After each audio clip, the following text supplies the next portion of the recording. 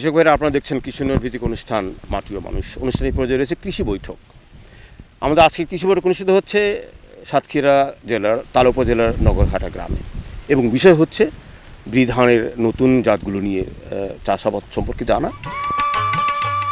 বাংলাদেশ ধান গবেষণা ইনস্টিটিউট দেশের ধান উৎপাদন, ব্যবস্থাপনা ও চাষ প্রযুক্তি গবেষণা ও উন্নয়ন বিষয়ক সরকারের প্রধান ধান গবেষণা ভিত্তিক প্রতিষ্ঠান।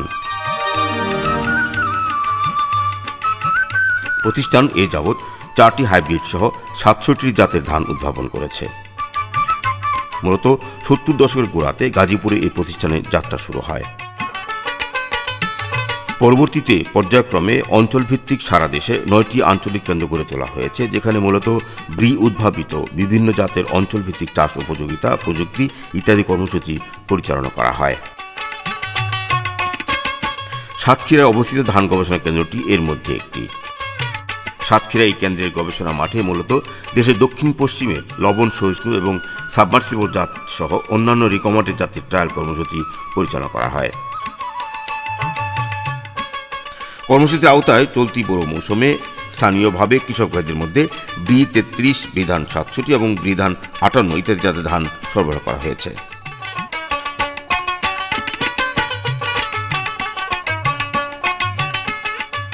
পাশাপাশি উপযুক্ত জাতের বীজ উৎপাদন সেই সঙ্গে স্থানীয়ভাবে কৃষক ভাইদের মধ্যে বীজ সরবরাহ করা হয় এবং প্রশিক্ষণ ও প্রদর্শনী মাঠ দিবস কর্মসূচি পরিচালনা করা হয়ে থাকে। এই সমস্ত জাতের ফলাফল নিয়ে আলোচনা করবার জন্য কেন্দ্রের ধান বিজ্ঞানী ও কৃষক ভাইদের নিয়ে আমাদের আজকের কৃষি বৈঠক। আমার সঙ্গে যারা আছেন, তারা সবাই কিন্তু এই বিধান কেউ পঞ্চাশ, কেউ ত্রিশ, নানা জাত চাষ করেছেন এবং ফলাফল খুব ভালো পেয়েছেন। আমরা প্রথমে জানার চেষ্টা করব।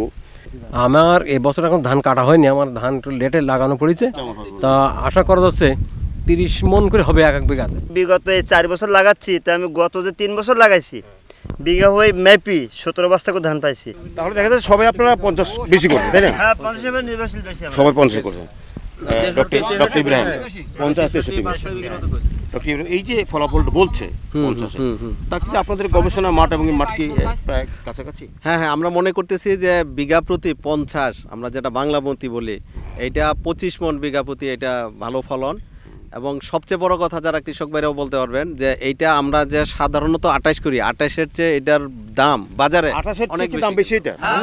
কেমন কেমন দাম? বহুত বেশি। আঠাশ যদি এক মন ধান বিক্রি হয় সাতশো টাকা। হুম। ইয়ে বিক্রি হয় নশো এক হাজার টাকা। ফলাফল কি বেশি? এইটা আপনার চিকন লম্বা এবং এইটা হচ্ছে আমরা যেটা বলি প্রিমিয়াম কোয়ালিটি বলি আমরা যে রপ্তানিযোগ্য। এবং এই ধানটা অনেক সময় চলে যায় কুষ্টিয়া বেল্টে যেখানে মারাই করতে পারে সজায় এটা। এবং এটার দাম বেশি যে কৃষক ভাই যেটা বললেন সাতশো টাকা যদি আঠাইশো এটা এক হাজার এগারোশো বারোশো টাকাও বিক্রি করে। এমনও রিপোর্ট আছে। আমরা একটু জানি কৃষক এই পঞ্চাশটা কীভাবে ব্যবস্থাপনা করে। আপনার কি নাম? আমার নাম শ্রী ঠাকুরদার ভাই। আপনি তো পঞ্চাশ করছেন কত করছেন ছয় বিঘা মতো পাঁচ বিঘা মতো। কেমন ফল পাচ্ছেন? মোটামুটি ভালো খুবই ভালো। তো যে অন্যান্য ধানের চেয়ে একটু বেশি নজর আলাদাই তো নাকি একই রকম? মানে বিশেষ কোনো কাজ কি করতে হয়? আসলে আমার মনে হয় আমার ধারণা যে আঠাশ ছাড়া যদি আমার দশ কেজি ধান বেশি হয় তাও হয়েছে। পঞ্চাশের জন্য আলাদা কোনো ইয়া নাই প্র্যাকটিস নাই আলাদা কোনো অতিরিক্ত কাজও করতে হবে না। আপনার আঠাইশের যে ম্যানেজমেন্ট আঠাইশের যেটুক সার দেওয়া লাগবে যেটুক পানি লাগবে লবণ সহিষ্ণু? না পঞ্চাশ লবণ সহিষ্ণু না পঞ্চাশ গাছটা আঠাইশের সাথে যদি তুলনা করেন যেটা বেশি চাষ হয় আঠাইশের চেয়ে একটু খাটো। খাটো। শক্ত খাটো। আঠাইশেতে শক্ত। খাটো এবং এটাতে ওই যে আরেক ভাই বললেন যে আঠাইশে আপনার ওই যে সাদা হয়ে যায় যেটা বললে এটা ব্লাস্ট আমাদের এইখানে গত তিন বছর আগে ব্লাস্ট শুরু হয়েছে এবং আঠাইশটা বেশি সাসেপ্টেবল আমরা দেখতেছি ব্লাস্টে কিন্তু অন্য জাতগুলি ওইভাবে কিন্তু কম্পেয়ার টু আঠাইশ ওটা ভালো একটু বলেন তো আপনার কাছে পঞ্চাশ কেন ভালো লাগে বলেন তো? পঞ্চাশ ধানটা খেতি আপনার এখন যে খেতি সুস্বাদু খুব সুস্বাদু এই আপনার দৃষ্টিতে খেতে ভালো লাগে। হ্যাঁ খেতে ভালো লাগে।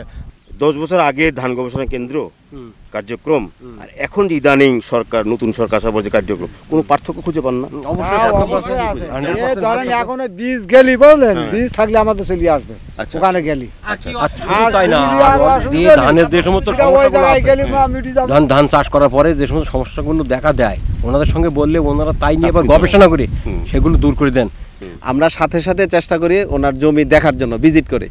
দেখে কৃষকের সাথে আলাপ করে যদি রোগ হয় ওই রোগের কি ওষুধ দিবে কীভাবে দিবে এই জিনিসগুলি আমরা ওনাদের বলি এবং সেটার ফলো আপও করি। এবং ওনারা জানে এবং বললই তো আপনার যে এখানে বীজ ওনারা সবাই কিন্তু বীজ আমাদের এখান থেকে আনছে এবং আপনাকে একটা ইনফরমেশন দিচ্ছি যে এই বুড়ো মৌসুমে আমাদের এই সাতক্ষীরা আঞ্চলিক কার্যালয় থেকে একুশ টন বীজ আমার এই চারটা জেলায় আপনার খুলনা যশোর সাতক্ষীরা বাগেরহাট। সরাসরি কিছু আমরা টাকা ছাড়াও দিছি আর কিছু বিক্রি করছি। আমি পাঁচ টনের বেশি টাকা ছাড়া দিছি। আর ষোলো টনের মতো আমরা বিক্রি করছি। সরকারি যে রেট আছে পঁয়ত্রিশ টাকা সব মিলিয়ে এখন লার্নিং কি পাচ্ছেন? নতুন এখন লার্নিং যেটা আসলে আমার আমার লার্নিং হচ্ছে আমি যদি কি বক্তব্য? কৃষককে যদি আমি সাপোর্ট দিতে পারি কৃষককে যদি আমি বুঝাইতে পারি যে আমার একটা নতুন টেকনোলজি আসছে এই জারটা আপনি করলে ভালো হবে। এবং কৃষক যদি দেখে এটা করে আমরা প্রথম দেখাই তাদের যে এটা করেন আপনি এটা করতেছিলেন এটা করেন। কোনো কোন কথা কি আছে? যে কথাটা বলতে পারেননি কখন রকম সেই ইব্রাহিমকে আজকে বলবেন বলতে পারবেন? কোনো কথা আছে? না কথা বলেছে আমাদের কিন্তু আমরা এই নগরকাটাবাসী আমরা খুবই ভাগ্যবান।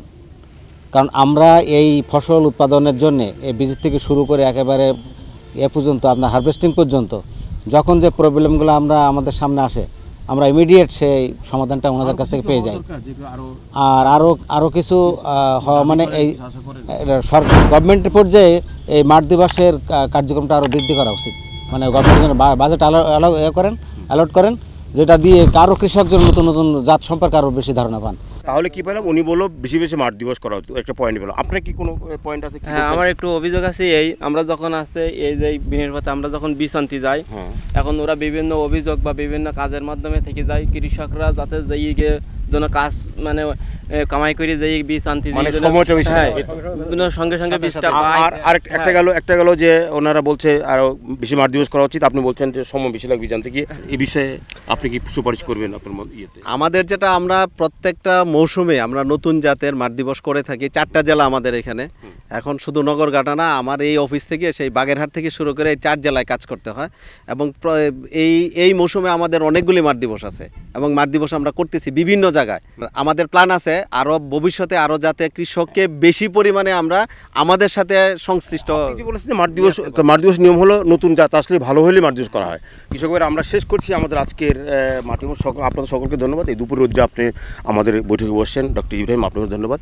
কৃষক ভাইরা, আমরা যে কথা নিয়ে আজকের এই বৈঠক বসছিলাম, তার মূল বিষয় ছিল যে এখানে পাশেই বাংলাদেশ ধান গবেষণা কেন্দ্রের একটি আঞ্চলিক কেন্দ্র রয়েছে। যেখান থেকে কৃষকরা সহজেই বীজ সংগ্রহ করে এলাকায় বিভিন্ন জাতের নতুন জাত তারা সম্প্রসারণের চেষ্টা করছেন। প্রতি বছরই বিভিন্ন সময় এখানে বিভিন্ন মাঠ দিবস হয় এবং আমরা জানার চেষ্টা করছিলাম খোলাখুলি যে কৃষকরা কি বলতে চান মাঠ দিবস কিংবা জাতগুলো নিয়ে এবং কৃষক এবং বিজ্ঞানিক সরাসরি কথা বললেন তাদের বিভিন্ন রকম সমস্যা নিয়ে। যে সমস্যাটি, যে দুটি কথা বললেন আমরা চেষ্টা করছিলাম জানার জন্য ডক্টর ইমামের কাছ থেকে। আরেকটি বিষয় এখানে খুব জোরালোভাবে বলা হয়েছে যে এটা সমগ্র জাতির জন্যই আমাদের বলা সে যে সম্প্রতি ধানের দাম কমে গেছে। কৃষকরা সারাদিন পরিশ্রম করছেন, তারা ধান কিনছেন, তারা মজুরি দিচ্ছেন, সার দিচ্ছেন, কিন্তু উপযুক্ত ধান, জমি তারা ধানের মূল্য পাচ্ছেন না। আমি সরাসরি খাদ্যমন্ত্রীকে দৃষ্টি আকর্ষণ করব। যখন আপনারা জমি, এই ধানের মূল্য নির্ধারণ করেন, যাতে কৃষকদের সারা বছরের খরচের ব্যাপারটা দেখে তারপরে মূল্য নির্ধারণ করবেন তাহলে কিন্তু কৃষক উপকৃত হবে।